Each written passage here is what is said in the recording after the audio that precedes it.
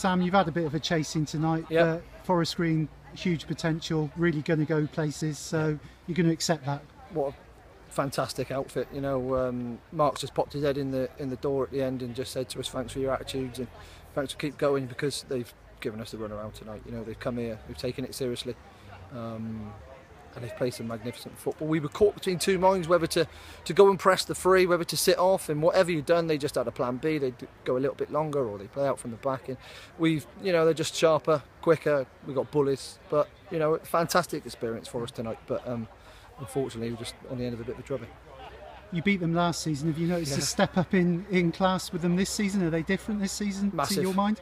massive. I wasn't here last year. I was at a wedding myself, but talking to the boys just inside that, just the way they approach the game.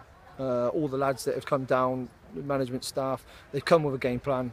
They've executed it brilliantly. I can imagine that they just play like that all the time training. They just, either every, wherever the ball is on the park, each player knows where they need to be. You know, they're just well coached, well trained, and you can see how good how good a side they just really are assembling with probably half the squad there as well.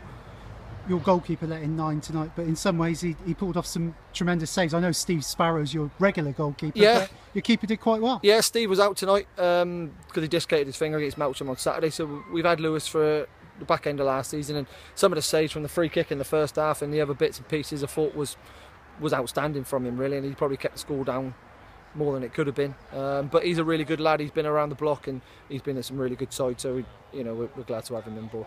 Looking forward now, one more pre-season Yeah. friendly to go, and then incredibly your league season starts next Tuesday against Lydney at home. We're underway. We're back here this time next week. We'll be, you know, getting towards the end of this of the second half. So we, we, we're in a good place. We're we're ready to go. Obviously tonight's not not ideal in scoreline wise, but it's good for fitness. We got bits that we can take away and work on, myself included, um, and we'll be more than ready. We'll, we'll have another go Saturday. Some other, some more boys will come in and, and play a bit more football than, than they did tonight, and we'll be ready for next Tuesday. Okay, thanks tonight, Sam. Cheers, well Ash. Cheers. Thank you.